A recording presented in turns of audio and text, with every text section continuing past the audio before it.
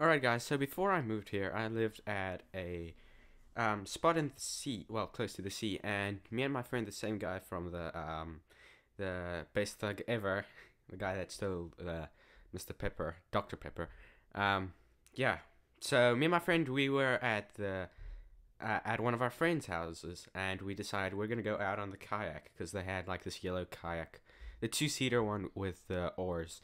So we decide we're gonna go out in the sea a bit, go to one of the close by islands. There's like little islands, um, just like I don't know, a couple of meters away.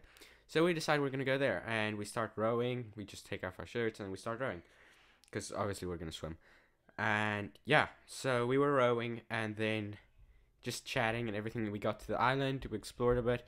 We saw some littering, and there was other stuff just lying on the floor and everything. And we saw this one seagull and yeah, so we didn't see much. We were exploring a bit, saw some sea urchins, and then we decided we're gonna go row back. So we were rowing back, okay, and we saw this shark swam by us, and we were both well. He saw it, and then I quickly turned around and I saw it, but it wasn't like a big one. It was pretty small, and yeah, we just decided we're not gonna swim, and rowed back and told everybody there.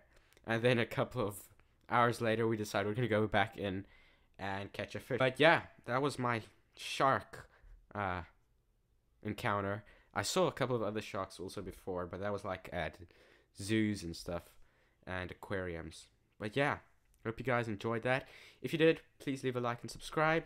There'll be more of this soon, and see you guys next time. Peace out.